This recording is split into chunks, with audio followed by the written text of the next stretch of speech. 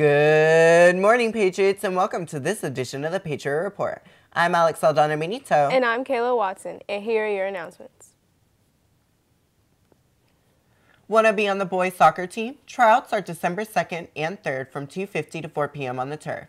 You must have completed physical and online forms on file with the trainers.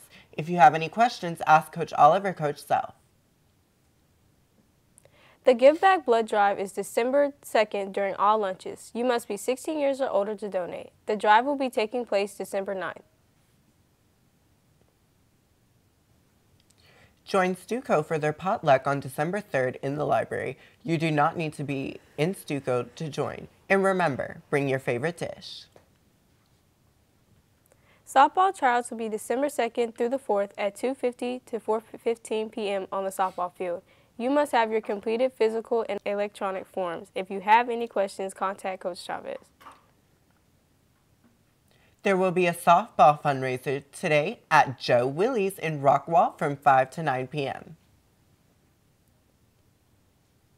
Don't be a bystander. Make the pledge to stop online bullying by scanning the QR code on the screen.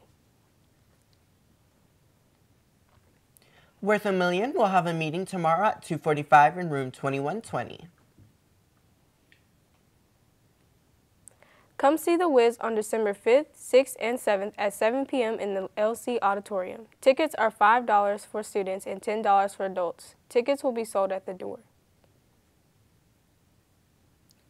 Lady Patriot soccer tryouts are December 2nd through the 4th at 2.50 to 4 p.m. on the football field. You must have a completed physical and all online forms completed prior to being allowed to try out. Further information is on the screen.